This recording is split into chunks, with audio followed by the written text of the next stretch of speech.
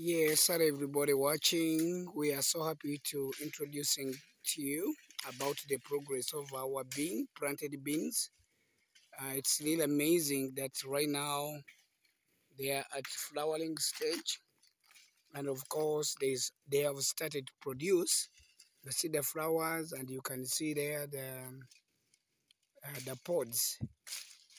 Yeah, beans are planted earlier in uh, March of this year and uh, Starlight Family Food Security Program here in Kiboga District, Uganda.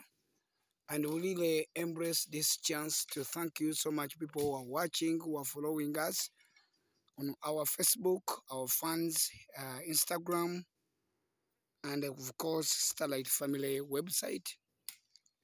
We really thank you so much and value your time you spend watching what we are trying to share with you. Uh, James, director on behalf of Starlight Family, Starlight Family Children's Home Center, Starlight Family School. We love you. Take care. Bye bye for now.